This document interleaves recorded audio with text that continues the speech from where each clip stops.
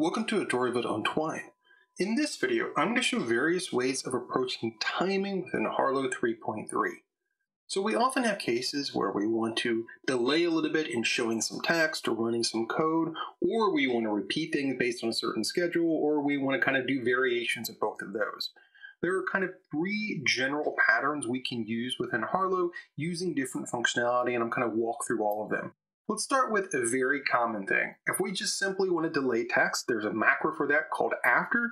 It takes a number and then a set of time, either s for seconds or ms for milliseconds. After that certain amount of time, it will either show the corresponding text in the hook or run the corresponding code within the hook. That's all it does. It's very, very straightforward. So if you ever want to just delay something seconds or milliseconds, perfect. The after macro is for that goal. In fact, if I go ahead and build this from build and play example one, one, two, and then we'll go ahead and show this after two seconds. Very, very straightforward. A perfect example of a macro that serves a really great purpose. Now, alternatively, if we want something to loop multiple times, we can use the live macro. So the live macro will continue to loop based on some time, S for seconds, MS for milliseconds. So if I want something to loop right here for every two seconds, and right here I just have it generating a random number between 1 to 20, it will sit there and do that. So let's go ahead and look at that here in just a second. Alternatively, we might want to set up if we want to go ahead and use this as kind of an internal counter or internal clock for a passage. So what we could do is set up the live macro to run every one second, then internally use a temporary variable or storywide variable and count every time it ticks, increase that. And then based on some number, we can then show something. So right here, I have it increasing counter by one, starts at zero, every second is going to increase by one, so we're going to know the current seconds. Then over here, I'm using a tag right here for timer. It's going to say seconds and counter, so we can keep track of seconds increasing. And then if counter is ever greater than 5, it's going to tell us that the counter is too high. Now this might be situations where you want to do something after a set amount of time. So if you ever have certain passages or stories where timing is a factor, players or readers are taking too long in a passage, you might want to kind of count 5 seconds or use either live or after for that purpose.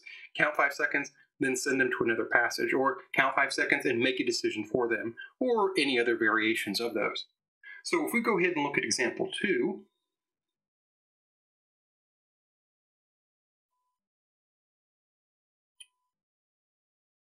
we see right here every two seconds, including the initial start, we have random numbers. And notice, of course, the counter is too high, but the seconds are ticking on. So if we want to approach where we're either showing something a delay and then showing text, the after macro, we want something that's kind of repeating or might be some type of clock, the live macro might be a better choice. So we have after and we have live. Now there might also be cases where we're using the live macro in at some threshold or condition we want it to stop. And there's a special macro for that called stop that's paired with the live macro. So example three here, we're doing the same thing again, except in this case, once we hit a certain threshold internally using an if macro, we stop. So notice right here, it says if counter is greater than four, right here, using the stop macro. We stop what we're doing, it will stop the live thing from running. So if we go ahead and move over to example three, we'll count one, two, three, four, five, stop, right? Five is greater than four. As soon as it hit that number, it stopped what it was doing.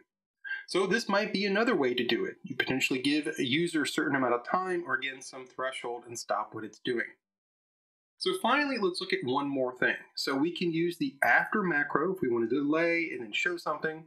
We can use the live macro to repeat a certain number of times, seconds, milliseconds. We can use live with stop to stop the macro from running.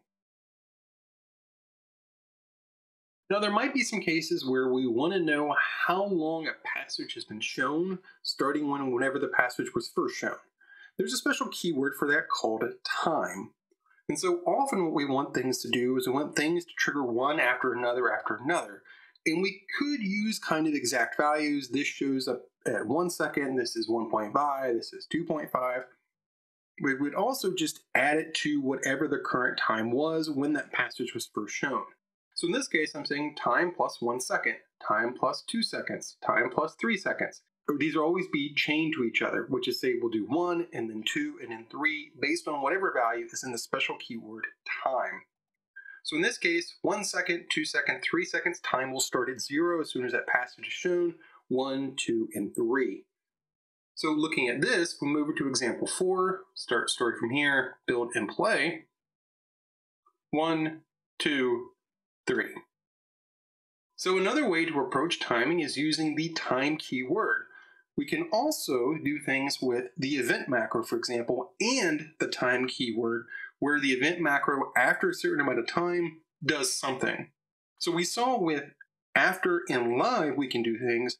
We can also do things with the event macro, not shown in this video, or working with the time keyword. So in particular, when working with timing in Harlowe, the after macro, the live macro, and the time keyword, and these can be used with other macros the stop macro, the if macro, and combinations of all kinds of other macros.